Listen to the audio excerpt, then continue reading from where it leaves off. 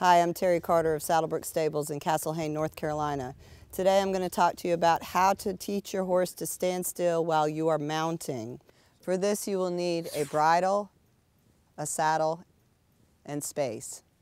The first thing you need to do is have your horse saddled and bridled.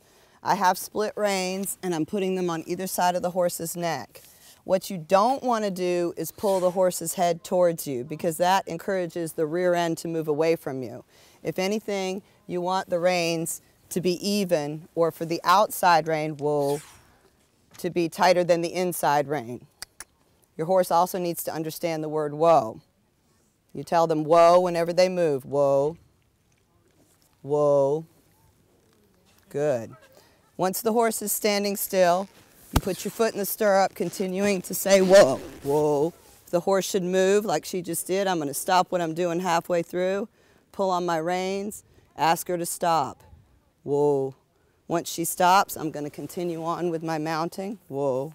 And continue on telling her whoa anytime she moves. When I'm safely in the saddle and both of my feet are in the stirrups, then I'm going to adjust my saddle, whoa, continuing to tell her whoa every time she moves. And when she's stopped moving and she's settled, I'm going to pet her and tell her she's a good girl. I'm not going to let her go anywhere or move forward until she's settled. Once you're safely on your horse and your horse has done its work and you want to get off, you want to make sure your horse is standing nice and still for the dismount as well.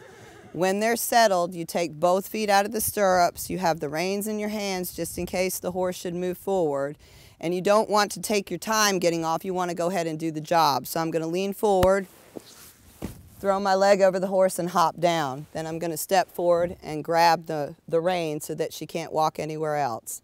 And that is how to teach your horse to stand still while mounting and dismounting.